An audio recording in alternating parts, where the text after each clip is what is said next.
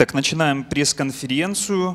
Э, Вмешательство государства в предпринимательскую деятельность, обыск э, в Промода. Э, 26 января в офисе компании Промода следователи налоговой милиции искали документы, к которым компания не имеет отношения. Проверяющие взломали дверь бухгалтерии, психологически давили на сотрудников, не имея оснований для обыска. Э, Благодаря вмешательству депутатов и общественности налоговиков удалось остановить. В последнее время э, силовым действиям со стороны государства подверглись и другие компании. Э, Какие выводы должен сделать из событий бизнес? Сегодня э, говорят об этом наши спикеры. Александр Колб, директор компании «Промода», Александр Чумак, президент Ассоциации частных работодателей, Илья Крючков, юрист компании «Промода», Тарас Ситенко, депутат Харьковского городского совета, фракция «Самопомощь», и Дмитрий Лазебный, адвокат Харьковского IT-кластера. Добрый день. Э, Александр Колб, пожалуйста, вам слово. Здравствуйте, коллеги. Вот. Ну, в принципе, я уже много объяснял ситуацию, которая у нас сложи- сложилась. Если кратко, то я пришел на работу где-то без 15-11, у меня была запланирована встреча в 11 часов, и обнаружил такое движение, хаос э, в коридоре нашей компании. Э, то есть какие-то происходили слухи, сейчас будет обыск и так далее. Разумеется, я вышел э, к людям, там их численность была там человек 15, наверное, представился директором компании Промода и попросил объяснить, что вообще происходит. Вот. Никто мне никакие документы не предоставил, не объяснил. Мне женщина э, показала ухвалу, сказала, что мы сейчас будем проводить обыск. Вот. Нам, пока нам зачитывали ухвалу, э, нам сотрудник, э, не знаю, не представился, он сломал двери в бухгалтерию. То есть мы обратили внимание на то, что нашей компании в перечне нет, пытались достучаться до, ну, по крайней мере, до диалога, да, то есть я обратил внимание, что мы не имеем отношения к перечню тех компаний, которые были указаны в ухвале, но на что обратил внимание, что странно, что ухвала была написана на обыск всего третьего этажа, и там были приписки та інших там организаций, которые мо- могут, я не знаю, иметь к этому отношение. Вот. Я пытался доказать, что, наверное, имеет место быть ошибка судьи или кто выписывал это решение, вот. но нам не достуча... э, мне достучаться не удалось. Да? Э, разумеется, то есть э, я опять же вышел к этим людям, то есть даже стоял у этих людей, и я сказал, что я буду делать. Да? То есть мы компания, которая одна из основателей Харьковского IT-кластера, я сказал, что мы не будем молчать, потому что поведение, вульгарность и там, тональность их действий там, вызывала много вопросов. Вот. э, я зашел к себе в кабинет, закрылся и позвонил Александру Медовому, председателю Совета Харьковского IT-кластера, и сказал, что попросил донести до, э, до общественности то, что происходит у нас. В принципе, наверное, больше никаких звонков я не делал. Саша там сказал мне, я тебя услышал, мы сейчас будем поднимать всех. Ну, и буквально там через 15 минут в нашей компании начались появляться люди, э, скажем так, в нашу защиту. Да, там Таня Бедняк первая приехала, э, другие люди и так далее. То есть на этом вопрос, там, э, что мы сейчас будем производить обыск, сдавайте телефоны, сдавайте флешки, потому что вопрос именно сразу так стоял, э, пока приостановился. Э, Минут через 40 после там, начала всех событий ко мне в кабинет зашел человек, который, собственно, должен был производить обыск руководителя этой группы, если можно сказать. Сказал, ну, извините, мы переходим в соседнее здание. Э, Ой, э, к вашим соседям.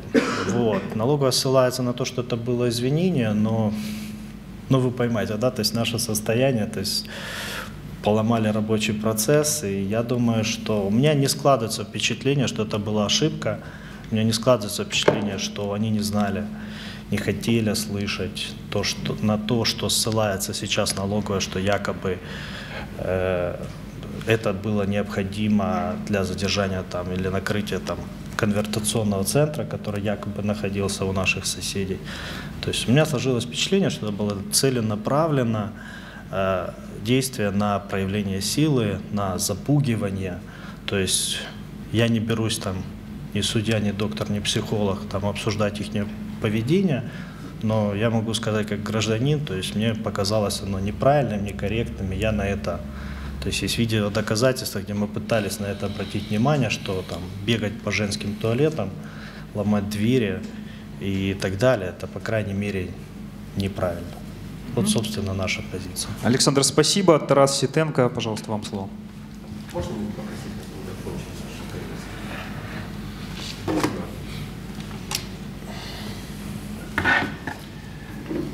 Я хочу обратить внимание на то, э, э, зачем налоговая приходила и, и благодаря вот именно этой подставе приходит в очень много компаний. Это так называемые ланцюги, то есть цепочки в налоговых ямах, и они где-то заканчиваются. Но почему-то у нас очень редко приходят именно там, где они заканчиваются. Потому что, в общем-то, все знают, что все налоговые ямы в каждой области находятся под крышей. Они все э, известны, известны и в СБУ, известны в налоговой, известны в милиции. И э, они спокойно работают. Всегда приходят к тем, кто находится между ними, может быть даже э, как правило, как правило, люди находятся в, в этом ланцюге, не зная о том, что они находятся в ланцюге, потому что поставщиков у любой компании может быть много, э, и всех не проверишь. Поэтому, в общем-то, борьба у нас не ведется с реально с обналовыми конторами и не ведется против э, конвертационных центров. У нас вода, э, борьба ведется под прикрытием борьбы с конвертационными центрами, ведется с обычным э, нормальным бизнесом. Поэтому э, вот и то, что происходило с промода, это как раз показатель того, что Вроде бы мы боремся с конвертационными центрами, но так как есть другие компании, которые рядом работают, то мы, наверное, зайдем и туда. Мы зайдем, посмотрим, может быть, э, покошмарив людей, они через 15 минут что-нибудь нам скажут. Неважно что, но что-нибудь скажут. То есть вот на этом и построен у нас сейчас весь бизнес, так сказать, наших силовых структур, нехваткой компетенции и знаний компенсируется зухвалость и вот такой беспредел. Тарас, спасибо. Александр Чумак. Э, добрый день, друзья. Я э, хочу начать с того, что э, э, вчера с утра, вернее, позавчера, когда это произошло, с утра я как раз был на другой компании и как раз консультировал по вопросу возможных маски-шоу персонал. И при, э, приехав в офис, я узнал, что такие маски-шоу вот буквально происходят в компании Промода. Э, мы сразу же отреагировали, э, тем более, что мы с IT-кластером работаем совместно в рамках угоды про співробітництво и в рамках коалиции малого и среднего бизнеса области. Плюс ко всему я еще возглавляю громадскую раду при ГУ ДФС Харьковской области. Выехав на место было э, выяснено действительно факты взлома двери, факты попыток э, досмотра личных вещей, э, отбора телефонов и безосновательный визит работников новой милиции, поскольку в постановлении суда не указывалась компания Промода. Причем такая интересная деталь, именно просьба о проведении обыска на всем этаже к судье, который принимал это решение в закрытом заседании именно обратился следователь налоговой милиции. То есть, не зная, где находится э, субъект, который им нужен, они решили проверить весь третий этаж. Ну, понятное дело, что такая практика у нас последние 20, может быть, 25 лет проводится постоянно, и мы как предприниматели это знаем. Э, вот. Э, но данный факт уже стал последней каплей, и необходимо уже отреагировать таким образом, чтобы ни один другой бизнес, а это может быть предприниматель, ваш партнер, ваш клиент, ваш, ваш поставщик, не попал в такую же ситуацию, чтобы нужно было срочно выезжать на место и фактически спасать компанию, потому что любое вмешательство со стороны государства – это большой риск. Маленький, средний бизнес э, любое такое вмешательство переживает очень тяжело. Э, у, у нас на сегодняшний день есть обращение компании Промота на громадскую раду. Мы вчера э, встречались с, первым, с виконуючим обов'язки першого заступника голови ГУ ДФС Харьковской области Андреем Бежановым, который является руководителем и налоговой милиции. В результате встречи мы Первое, заявили о позиции в компании Промода, о позиции громадской рады и вообще бизнес-сообщества по поводу э, данной ситуации. Э, в итоге э, принято решение о том, что данный случай будет э, со всех сторон э, изучен и расследован э, с участием представителей громадской рады при ГУ ДФС Харьковской области. Сегодня у нас собирается комиссия э, по вопросам кадровых питань и комитет з протидії протидії е, е, проявам коррупции при громадской раде ДФС Харьковской области, где мы э, эти вопросы все поднимем и будут делегированы люди, которые будут участвовать в мониторинге данной ситуации и конкретного разбирательства. Как э, неоднократно подчеркивалось, что мы ожидаем, что будут проведены адекватные, э, применены адекватные меры э, по данному случаю и вообще предупреждены возможные случаи, потому что, к сожалению, э, приходится констатировать, что э, такие случаи имеют э, системный характер. Э, На сегодняшний день э, по в компании Промода визитов больше не было, я надеюсь, уже не будет. А, на всякий случай мы говорим, потому что в постановлении написано одноразово можно провести обыск. Это я подчеркиваю. Если вдруг кто-то придет, то можно на это тоже аргументированно указывать. А, Поэтому на сегодняшний день э, данный факт взят на контроль. И хочу вспомнить, что у нас в последнее время э, можно называть много этих компаний, которые попали под пресс со стороны государства. Самый последний случай три дня назад это компания «Адамант» киевская, э, где был визит э, не налоговый, а работников СБУ. Еще ранее э, проблема с компанией «Символ», где больше задействована непосредственно милиция. И э, даже при э, тех обвинениях, которые выдвинуты, но э, мы не считаем адекватным о обыске приватных помешкань работников компании с участием людей с автоматами. Но это неадекватные действия на э, возможное нарушение со стороны компании. Александр, спасибо. А, Илья Крючков, юрист компании Промода. Пожалуйста, вам слово. Давайте. Добрый день. Я хотел бы обратить внимание на то, что мы категорически, Сейчас, секунду. мы категорически не верим в, том, что, в то, что обыск, э, попытка проведения обыска оказалась случайной. Я лично не верю в, том, в то, что старший следователь налоговой милиции, который писал э, ходатайство в суд а, о э, получении разрешения на проведение обыска, не отдавал себе отчет в том, что он просит провести обыск на третьем этаже, не указывая конкретно название юридического лица, в помещении какого юридического лица должен проходить обыск. И я также конкретно и категорически не верю в то, что судья Садовский Киевского районного суда, э, постановляя ухвалу, не отдавал себе отчета в том, что, по сути, э, он дал право проводить обыск э, на площади некой в отношении неустановленного юридического лица, которое якобы осуществляло эм, э, в своих действиях правонарушения, связанные с неуплатой налогов. Это статья 212 Уголовного кодекса Украины. Я считаю, что действия, которые проводились, они были сплани- э, э, спланированы. Попытки э, м, э, правоохранителей извиниться и сообщить, что, вы знаете, мы э, не смогли установить, э, где же конкретно располагается офис той компании, которую мы ищем на третьем этаже. Вот мы знали, что где-то на третьем этаже, а где именно мы установить не могли. Я в это также не верю. Э, На встрече, вот о которой говорил Александр Чума, которая происходила вчера э, в управлении, в областном э, управлении ДФС, нам сообщили о том, что обыск, который проводился, он был проведен в ряде обысков, которые проводились в связи с раскрытием и пресечением работы э, незаконного конвертационного центра, находящегося в городе Днепропетровске. А, через этот центр прошло порядка 50, ну, со слов а, работников ДФС, прошло э, более 50 миллиардов гривен в схемах, которые были вскрыты было задействовано несколько десятков юридических лиц. Э, нам показывали ну, достаточно большой список на одном, на втором, на третьем листе.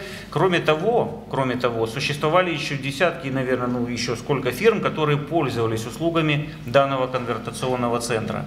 Работниками налоговой службы были проведены масса работы а, по выявлению всех этих нитей, документов, работы со свидетелями и так далее. При этом они находясь в городе Харькове, не смогли оперативным путем установить, где же на третьем этаже находится офис фирмы, в которой они собираются прийти. А, поэтому а, я считаю, что и было бы интересно, наверное, и полезно а, предпринимателям города Харькова знать о механике обысков незаконных, которые, так сказать, реализовываются в городе Харькове. Итак, Э, пользуются таким приемом, который был на нас испробован, когда необходимо провести обыск у конкретного юридического лица. Причем э, в описательной части ухвалы, вот она ухвала Киевского райсуда от 21 січня 2016 года, указано наименование юридического лица, указано на каком этаже находится, по какому адресу, но при этом резолютивная часть ухвалы не содержит наименование этого юридического лица, что формально дает повод Э, правоохранителям проверять вообще все, что на этом этаже находится. И неважно, сколько там э, э, компаний находится. Фактически, если бы на третьем этаже находился, предположим, ну, я не знаю, администрация Дзержинского района, ну так вот, географически, то они имели бы право и ее проверить, в том числе на предмет причастности к э, незаконному обороту валюты. Э, поэтому э, единственное, что может в таком случае Э, остановить произвол и беззаконие, это знание э, своих прав, это знание телефонов горячей линии, это э, заблаговременный инструктаж сотрудников и, безусловно, ну, хоть какая-то элементарная ну, выдержка и хладнокровие. Без всего этого противодействовать и противостоять таким э, вот, произволу и беззаконию ну, невозможно.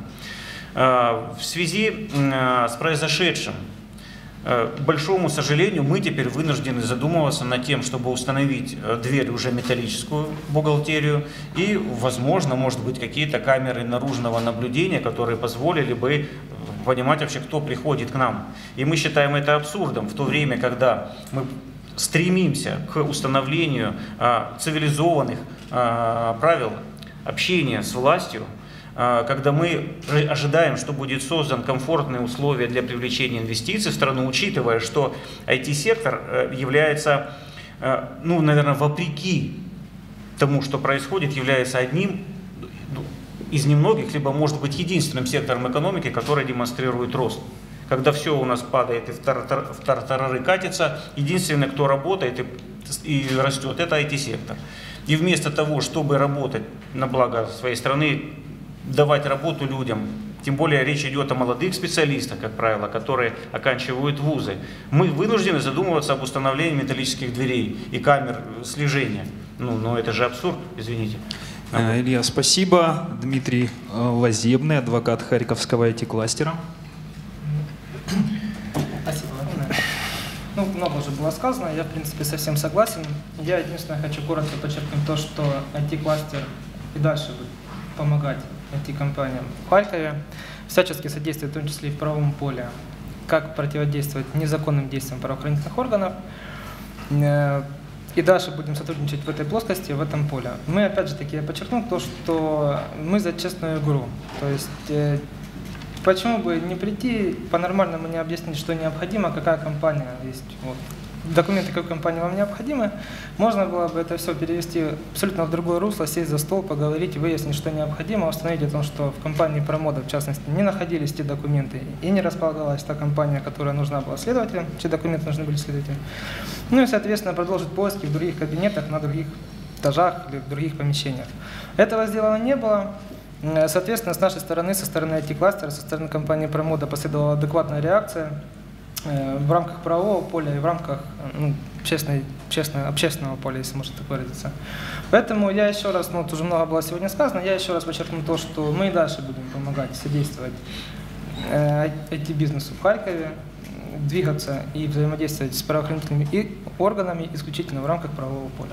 Дмитрий, спасибо. Да, у вас комментарий? Пожалуйста, Тарас. Да, вот, я слушал э, э, рекомендации по предупреждению таких случаев.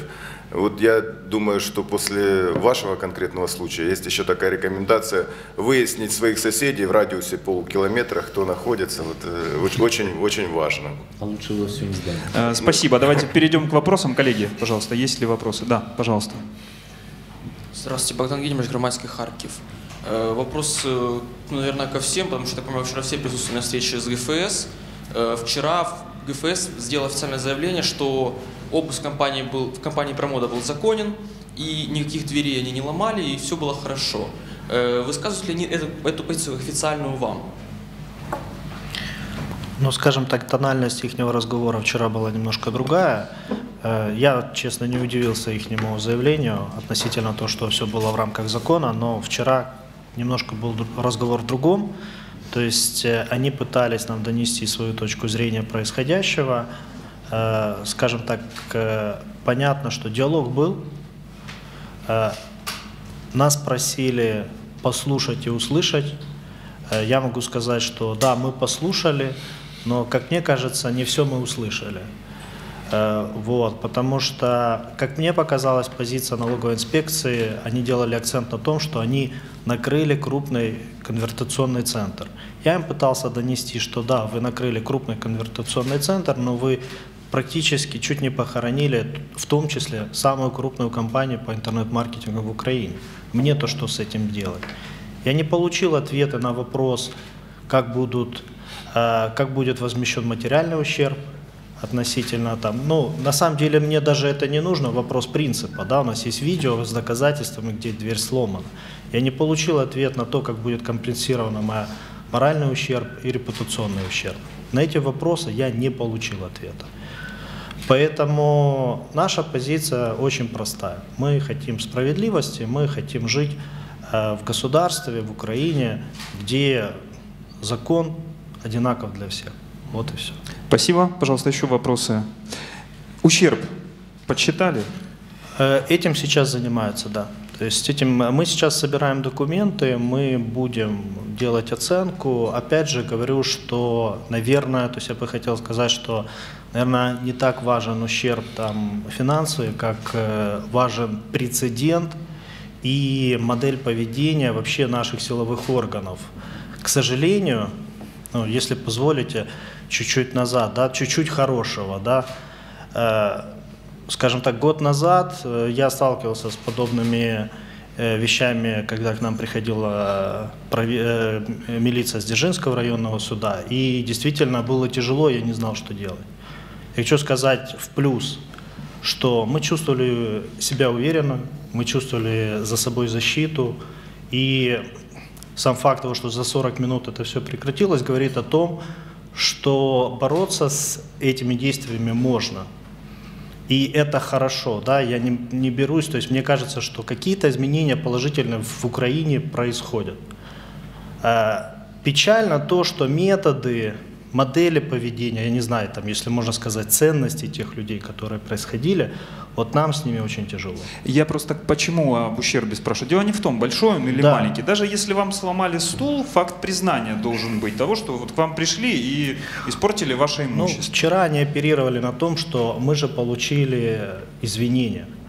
То есть я тоже сказал, что, друзья, извините, если я приду, изнасилую вашу жену, а потом скажу, извините, я был неправ, вас устроит этот ответ? Меня этот ответ не устроит. Я хочу извинения общественного, я хочу извинения и признания. Вот. Причем я не хочу это для себя, я хочу, чтобы менялась система, потому что э, наш случай, он единственный. То есть я хочу, чтобы менялась система. К сожалению, там, в глазах этих людей, которые к нам приходили, я не увидел этого. Алина Шульга, медиапроект «Накипело». У меня тоже вопрос к Александру. А, Подобные обыски в IT-компаниях уже как бы не редкость э, у нас в городе и в стране. А, В связи с этим вопрос такой, не собирается ли руководство компании рассматривать вариант вообще выйти из Украины и вести свой бизнес где-нибудь в более спокойном месте? Э, Спасибо за вопрос.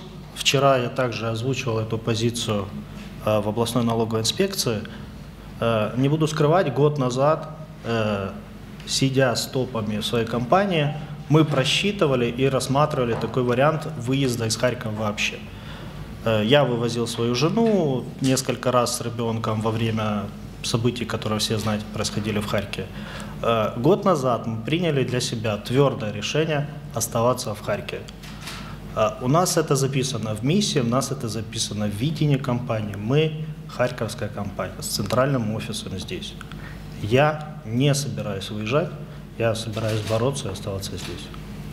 Спасибо. Есть ли еще вопросы, коллеги? Э, По поводу статистики подобных случаев. Вот э, что в Харькове? Вот вы называли еще несколько случаев, это, правда, не IT-компании были, да, но вот Симбал, да, еще. Э, Как часто у нас это происходит? И, ну, и как отличается Харьков от других областей в этом отношении? А У нас есть большая проблема в том, что это может происходить даже сейчас, пока мы вот с вами тут пресс-конференцию, но мы об этом не знаем. Почему? Потому что э, у нас сложилась э, такая ситуация, э, что бизнес э, самостоятельно решает свои проблемы. И решение этих проблем, как правило, обходится достаточно дорого. Э, Зная это, э, любой контролирующий орган, в том числе силовой, он может прийти к каждому предпринимателю в любой момент, вы этого не ожидаете, и поставить вас в такую позицию, когда вы вынуждены себе покупать право свободно работать. Понятно, за взятку. И э, многие предприниматели, они рассматривают эту возможность как одну из самых простых и быстрых возможностей для решения проблемы. А, Мы системно пытаемся работать с бизнесом и объяснять ему, что это не решение проблемы, потому что оно системно не решает, не меняет систему вообще. Система сложена таким образом, что она заинтересована в бесправии предпринимателей, и э, именно на этом государство получает выгоду. Да. А Поэтому и чиновники, да, ну, чиновники в лице государства. Поэтому э, статистика, например, по символу, э, когда все это началось, я был 20 января в Киеве, и мне просто стало интересно, э, я точно знал о ситуации в Харькове и в Одессе, мне просто стало интересно, чего происходит в Киеве. Я по карте нашел символ, добрался туда и увидел там опечатанную дверь. А, Вот. И она сразу же появилась в новостях э, тот же день. То есть э, 18 магазинов «Символ» были опечатаны одномоментно по всей Украине. А, Ситуация с э, IT-компаниями, ну, если не каждую неделю, то каждый месяц происходит сейчас. да. Ну вот у нас э, в зале есть Наталья есть, да. Виноградская, исполнительный директор Харьковского IT-кластера. У вас есть комментарий? Да, за 2015 год было 4 случая. Э, В IT-компании в Харькове приходила либо милиция, либо налоговая, СБУ к этому не была причастна. Э, В связи с этим Харьковский IT-кластер организовал горячую линию. Если позволите, зачитаю телефон, просто чтобы IT-компании Харькова знали, куда позвонить, обратиться. 098 552 60 96. Э, Наши айтишники могут всегда перезвонить сюда, и по их звонку мы соберем рабочую группу, которая подключится и будет всячески им помогать. Спасибо большое. Вообще, такие случаи приводят к чему? В 2014 году э, из Харькова уехало порядка тысячи специалистов. И если учесть, что в Харькове 22 тысячи специалистов, то для нас тысяча специалистов ключевых – это очень много. В 2015 организовался кластер, и одна из наших задач – это как раз удержать специалистов здесь. Нам не хочется уезжать. Мы создаем для них комфортные условия для ведения бизнеса. Проводим семинары, кстати, на тему проверок в том числе. Поэтому я думаю, что со стороны государства должна быть э, соответствующая реакция, чтобы прекратить э, такие неправомерные действия. Спасибо. Спасибо. Ну, 5% получается, если грубо говоря, да, вы говорите, одна тысяча человек, 21 тысяча всего, это очень много за год. Еще нарожаем. А, Это очень, да. А, Коллеги, есть ли еще вопросы? Есть, есть, есть. Да, пожалуйста, да. Меня зовут Паркуенко Анатолий, я предприниматель. Нет.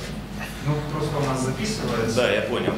Э, Уважаемые коллеги, Э, Молодцы, конечно, что вы объединились и так вот от- отстояли свою, ну, на этот момент отстояли свою позицию, но э, не только IT-специалистами заканчивается бизнес. Я хотел бы, чтобы относились вообще к этой ситуации как э, наезду на бизнес вообще не только как IT. А теперь вопросик. Знает ли об этом губернатор? Если знает, почему молчит? И понимают ли эти болваны из налоговой, что они, в общем-то, дискредитируют и губернатора, и президента, в общем-то. Спасибо. Если позвольте, я прокомментирую. Э, Вчера у меня состоялся диалог с Яни Камерила, и на феврале месяце она собирается делать пресс-конференцию по, скажем так, взаимодействию бизнеса и силовых органов. Э, Она работает над тем, по крайней мере, мы вчера обсудили, чтобы на встрече был и мэр города, и губернатор. Опять же, есть э, некие опасения, что их не будет. Возможно, этой встречи тогда ну, нет смысла. Вот. Мы, скажем так, от себя не доносили эту позицию до губернатора. Вот. Может быть, не было времени. Сейчас мы консультируемся со многими, как донести свою точку зрения, и в том числе так получилось символично, там, два дня назад я постил, как наш гарант Конституции пообещал защищать IT-бизнес, и там на следующий день я пришел и увидел у себя, э, скажем так, во- вот такие действия. Э, Мы хотим дойти до всех органов и донести свою позицию и проверить, э, я не знаю, искренность этих заявлений. Да, сейчас мы консультируемся, мы хотим, ну поймите правильно, да, мы не хотим там бежать там шашкой на голову и сказать, что там все пропало, нас тут обижают. То есть мы хотим системных изменений, мы хотим сделать это правильно и чтобы ну, тщательно разобраться в ситуации. Спасибо большое. Есть ли еще вопросы? Э, Последний, вот тоже опять же по статистике. Что происходило в предыдущие годы? Ну, допустим, три года назад, пять, десять. Э, Похожая ли сейчас ситуация? Или э, возникли какие-то новые, скажем так, способы давления на бизнес? Кто ответит? Не знаю, Александр, А, может быть, вы, да. Ну, мы этим занимаемся уже, наверное, лет 7 проблемой. Сказать, чтобы э, ситуация изменилась по статистике, ну, я не вижу этих изменений. Э, То есть э, госу- Люди, люди ж не поменялись. Да. Государство на самом деле отвратительно, паршиво относится к бизнесу, к налогоплательщикам. Э, Нас никто не уважает, давайте говорить честно. Поэтому и когда приходит рядовой работник э, налоговой, либо милиции к бизнесу, он э, несет с собой вот это отношение государства к бизнесу.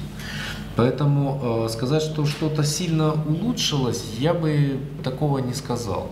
Э, методы остались те же самые. Не обязательно улучшилось, ухудшилось, может быть. Э, Ухудшилось, наверное, потому что э, в связи с борьбой с конвертационными центрами, да, э, если раньше не боролись, либо боролись слабо, сейчас стали бороться более, сильно, более сильнее и попутно как бы захватывают и другой бизнес. Поэтому ну, ситуация такая, я, трудно сказать, что сильно ухудшилась, то есть, э, проще сказать, ничего не изменилось. И наша задача все-таки наконец-то пос- э, заставить государство повернуться э, к бизнесу лицом, а не тем местом, которое мы видим постоянно. И это касается не только налогов, это касается и милиции, и прокуратуры, СБУ, других контролирующих органов. Это э, касается органов, которые отвечают за реализацию государственной политики развития малого и среднего бизнеса. А чем дело кончилось, вы знаете? Они дошли туда, куда они хотели изначально попасть? Да, уезжая с работы до полседьмого, то есть я уезжал с работы в полседьмого, они находились еще там. Да, я там был, я э, как глава громадской рады пытался э, выяснить информацию по поводу происходящих там действий, и э, очень важно было понимать, что там все происходит в рамках закона. Э, Они зашли, закрыли забронированной дверью и делайте, что хотите. Ну, простояв полчаса у двери, э, через полчаса вышел человек, видимо, тоже из э, состава группы, который приехал, сказ- сказал, вы не стойте, не ждите, к вам никто не выйдет. То есть мы не собирались вмешаться в процесс, следственный. Наша главная задача была выяснить, все ли там происходит в рамках закона. Все, не более того. Тарас, да, пожалуйста. Я, наверное, единственный, кто попал внутрь э, той дистрибьюторской компании. Э, они еще тогда не закрылись. И, и я поговорил с оперативными сотрудниками и со следователем. Э, могу сказать, что там вели они себя более чем чемно. Э, то есть никаких угроз, никаких выламываний там не было. Поэтому и вот сейчас я тоже анализирую, понимаю, что в промода зашли они не случайно. Если они поменяли сразу стереотип своего поведения, тут они такие, а туда, куда они, собственно, шли, они совсем другие. Спокойненько сидели, им давали какие-то бумаги, они что-то записывали. Ни- Никаких выламываний и допросов с пристрастием, ничего там не было. Спасибо, Илья, у вас, да, комментарий, пожалуйста. Я хотел бы добавить по поводу вашего вопроса о том, изменилось ли что-то в лучшую сторону или нет. Я лично оцениваю ситуацию как изменившееся, но в худшую сторону. Почему? Потому что если раньше мы э, вот э, такое отношение власти к бизнесу воспринимали как должное, ну, ну такие порядки. Вот пришли очередной раз, кто-то откупился, кто-то не откупился, ну, пожали плечами, ну, жизнь такая. Сейчас наше общество живет в, знаете, таком состоянии ожидания, ожидания и надежды на изменения к лучшему. И когда э, м, э, люди, находясь в таком состоянии, видят, что ничего по сути не меняется, то в конечном итоге состояние надежды, надежды на лучшее, оно меняется разочарованием. А разочарование несет э, за собой э, м, утрату веры и надежды на изменения, и в желании вообще менять что-либо. Вот в этом э, ужас всей ситуации. И то, что у нас получилось, у нас получилось, это благодаря в том числе, ну не то, не то что благодаря, а е- вот единственное, вот я вижу, в чем, так сказать, наша сила была, это в том, что был создан IT-кластер и действительно объединились предприятия по отраслевому принципу. И вот э, вопрос, кстати, касался, это действительно это проблема не только IT-сектора, есть и масса других предприятий, других направлений. Вот если они будут объединяться в свои кластеры, вот, и между нами будет э, контакт, между нами будет взаимопонимание. И мы, например, имея силы в одном месте, перебрасываем их в другое, потом там юридическая поддержка, там средства массовой информации, мы сможем создать такой барьер на пути к произволу, который позволит нам менять что-то, ну хотя бы у нас в городе. Хотя бы. Спасибо. Спасибо большое участникам. Спасибо, что пришли и рассказали о ситуации. Будем обязательно следить за развитием событий. Спасибо. Спасибо.